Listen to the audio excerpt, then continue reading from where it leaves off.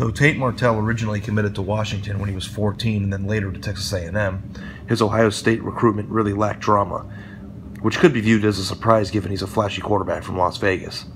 Though Martell goes to a powerhouse high school in the Southwest, he had a grandfather who went to Ohio State and the Buckeyes were always a dream school for him.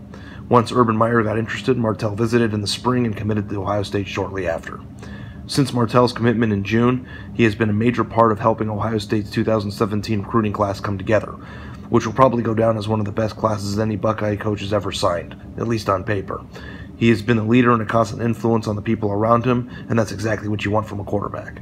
Oh, and he plays the game at such a high level. Though he's a bit undersized at 5 foot 11, he was perhaps the best dual threat quarterback in the nation. He's a big time get for Ohio State. He's currently enrolled as an early enrollee with the Buckeyes and should factor into the Ohio State's future in a big way.